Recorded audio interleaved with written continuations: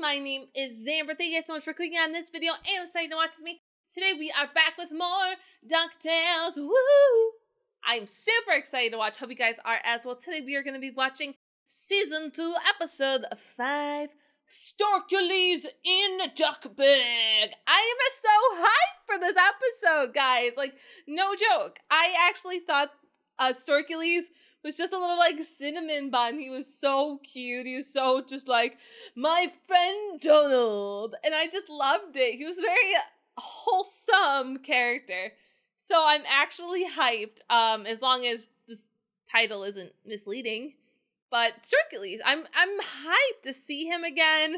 I loved his interactions with Donald. How Donald's like, just leave me alone. I'm not your friend it was fun. So I'm excited for more kookiness. That callback from season one will be really enjoyable for me, at least. I don't know about Donald's enjoyment, but I'll be hyped. So super excited to watch. Hope you guys are as well. Please keep in mind if you want to support my channel, you can check out my Patreon page. Link down in the description below to go watch my full timer reactions over there. But without further ado, let's get started. Introducing Louie Incorporated. Uh, oh. That's nice. Suits, ties, Uh-huh. shorts, numbers, yachts, Oh, jet skis. okay. You know? Louie Incorporated. It's a dream business movement. But what does it do? Did you just do an internet search for the word business? That's a trade secret. Uh, Hey, so there's some things I haven't figured out yet. Like what your business sales does, and is. So, yeah, but this business is everything to me. I want to be a successful businessman like you. Then come up with a business idea. You have to find a problem and offer a solution. Yeah. My problem is I need money, and if you would just it. give it to me already, problem solution. Oh. He saw there was a housing shortage in Duckburg, so he's renting out the spare room in his houseboat. Problem, solution. He's Oh. helping people. And is he stealing my chandelier? Hey!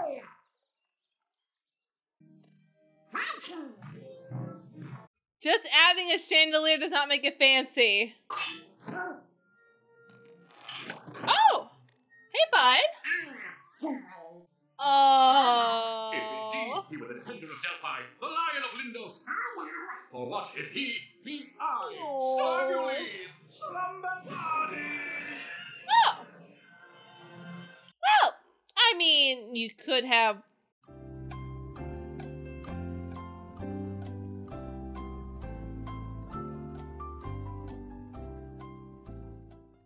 You could have a villain as a roommate. Yeah, yeah, that's worse. I think. As punishment for my childish gaiety, Father cast me out and ordered me to become a responsible adult. So I Oh. thought, who better to teach me than the most responsible man I know? Oh boy. A successful business must find a problem and solve it. And that, my employees, is what we are here to figure out. We're not your employees. Uh. We're your family. Where's Dewey? Family are the greatest employees of all. I mean, except Dewey. Dewey would make a terrible employee. Oh! There, there, there. Well then, I guess Webby will have to be chief chart officer.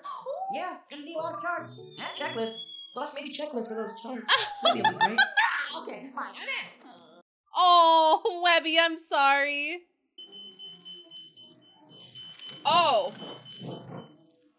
Donald, good morrow! where's the stove? Donald, 'twas nearly disastrous. Your stove made a horrible hissing sound when activated. Clearly a foe filled it with dangerous vipers. So I wrested the infernal snake box from the wall and threw it to safety. Oh. Now, we eat and restore our heroic vigor. By Helios' chariot, a job. That sounds most responsible. Hey. Oh. They followed me from Greece. I must wrangle those wretches so I can get back to my glorious labor of roommate responsibility. We've already spent our entire annual budget on skee ball, so company done? Everyone relax, okay? Our company just needs to find a problem to solve.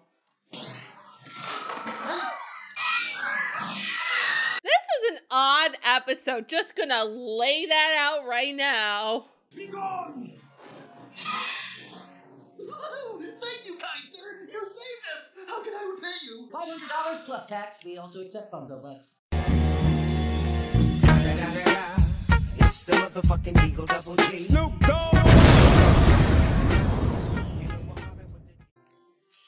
Okay. Father, what a beautiful and harpy-free day for a helpless mortal tot like me to enjoy! Goo goo and gaga! Yes, sirree. A harpy? Um, what's a hapless fate to do? I have made a mighty This- this is- harpy. I'm Louie Duck, founder and Oh. CEO of Heart Be Gone. We're the leading task force dedicated to humanely capturing those pesky winged beasts infesting Duckburg. If someone sees a harpy, they have to know who to call and pay lots of money to get rid of it. You better hope someone calls because we're already broke. Guys, are the harpies really so bad? Instead of capturing them, why don't we just channel their passion into something positive for society? No, we need them to keep coming back. Okay. Heart be gone, please hold. Heart be gone, please hold. Uh. Ah.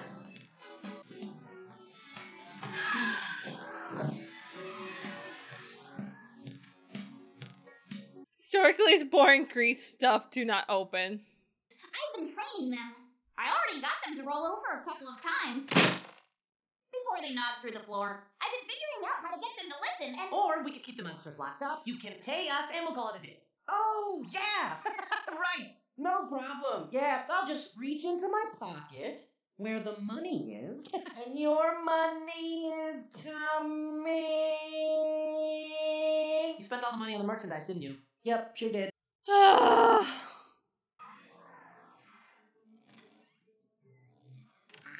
boy. Corporate Overlord Llewellyn. Overlord? Corporate Overlord? Just wanted to check to see if they were locked in safely. Yep, everything looks good, so just go, I guess. Of course. Employer Llewellyn, you have the honesty and integrity of a true hero. Just like your uncle. Oh. Fine. I was gonna let them out, okay? I have to save the business. Up. Just, you know, getting a midnight snack. Rumbles and the tumbles. We should let you get back to your beauty rest. No, Oh, don't. No, uh-oh, you uh, mustn't uh-oh, let the uh-oh. beasts uh, uh. out.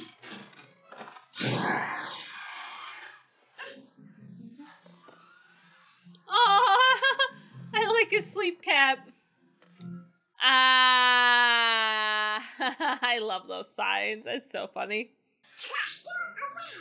Donald, no. Oh. Our treasured oh. friendship is the one thing I love most. Oh, That was most unwise of me. yeah.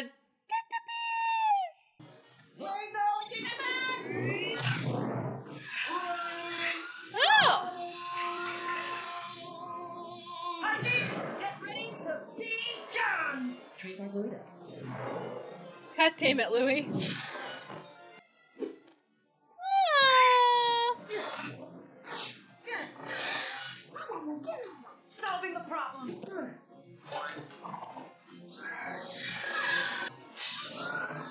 What a fine home you've made, noble Donald.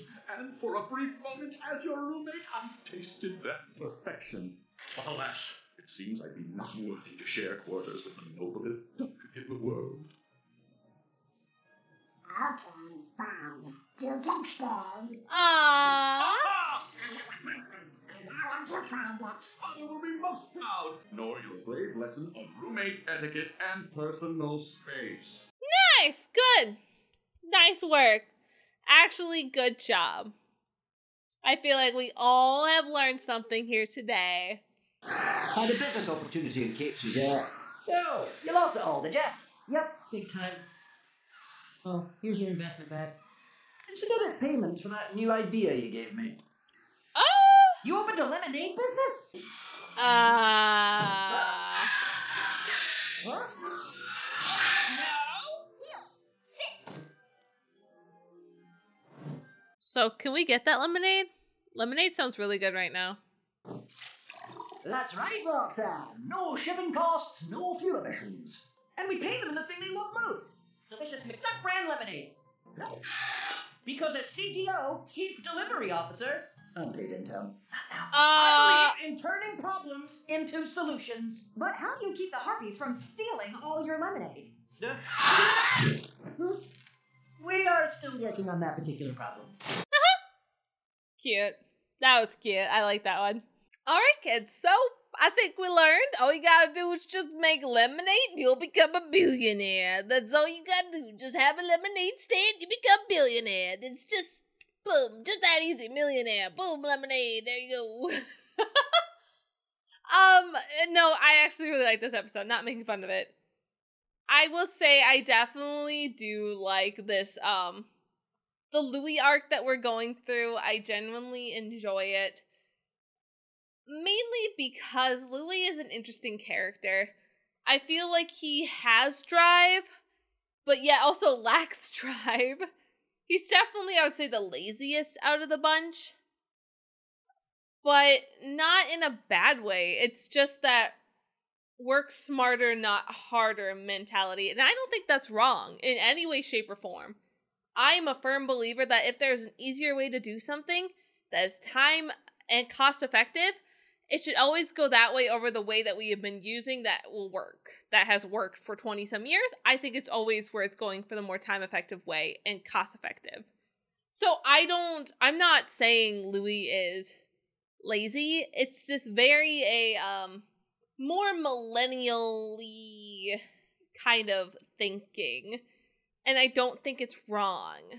So i like this episode a lot. I like learning more about just everything kind of his lack of goal for what he wants his business to be i find it rather humorous that he's just like well my my goal is i want to make money. My problem is i want to make money. Solution is i get money. It, it's just kind of hilarious because it is that like well i work you know 40 hours a week so i should get paid money. Like yes but then again, I don't think we need to work 40 hours a week. I don't think that's correct at all. I don't know when that became a standard, but honestly, I think that's a lot of time of your week taken up working to get paid nothing. Peanuts. And not even make poverty half the time you're working these 40 hours. I think it's ridiculous. So I I like this. It definitely kind of it hits home with the aspect of like there are smarter ways to do things that are better for everybody and not killing slaving away. And i think Hercules coming in to kind of help with that does help cushion that kind of uh dark tone of working. Because yes Hercules has to make rent. He has to be a good roommate. He's trying to make it in a world when he's suddenly thrown out in there. And I think for a lot of people, especially younger generations, we don't know what the fuck we're doing. like, sorry, but we don't. I am 25 years old. I'm going to have a house mortgage soon. I bought my first ever real bed. Like, there's all these things that, like, no one prepared me for taxes, all this stuff. I'm still figuring out my life. Like, I most certainly do not have it all together. I'm sitting here watching cartoons. I don't have life together. and I think Scrooge helps us understand that. He is someone who's been around the block. And he himself is still trying to figure out his next big thing. He doesn't have it all figured out. And I think the perfect comparison to make to that is Donald. Hercules sees Donald as this responsible adult, what have you. Donald can't hold a job. Donald's living in a boat, not because of a housing crisis, because he can't afford to live in a very, very expensive apartment in the town in Duckburg. So he rent he got a boat instead because he probably could not afford to get a mortgage to buy a house. So he has a boat, which is significantly cheaper than any house you will ever buy. There's a big ass spider on my wall. Dustin! Oh, whoa, that's a weird one. It was a big spider, like probably yay size. He was massive, just up on the ceiling, crawling around. that was gross as shit. Oh, this is why we have. This is why we have spouses, so that they can handle. See my point? I'm not an adult.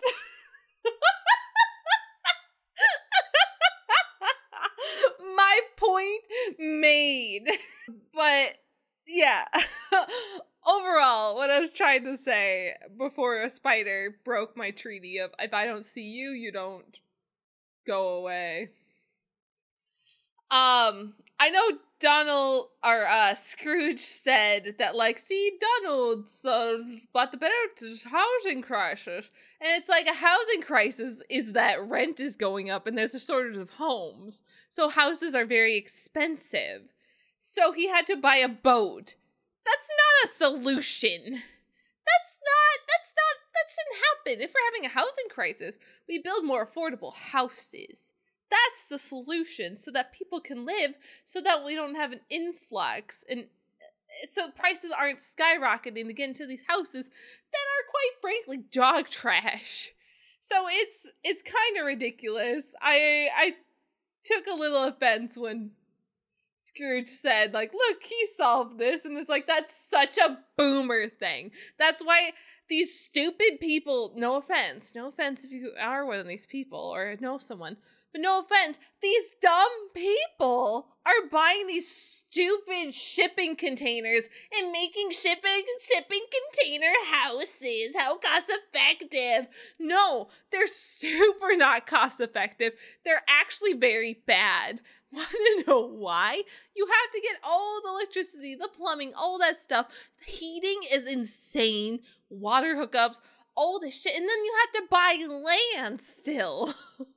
They're not that great. Yeah, the end of it, you probably could have bought an actual house house for almost around that cost. Would have been the best house? No. But you could have got a mortgage and actually gone and like done things to this house with the money you spent on trying to buy the shipping container. They're not that cheap. So it's it's ridiculous. I hate the housing crisis. It's so dumb. And I like that it was mentioned in this actually. It's kind of funny. So overall, um a very interesting episode. Very proud of Louie. I still think he needs some I don't know, he just needs like a little class cuz I he just needs some direction.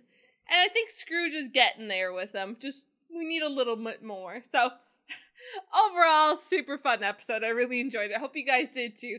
Please remember if you like this, to like, share, subscribe, all that fun jazz. Comment down below. Let me know what you guys think, and I'll see you uh later.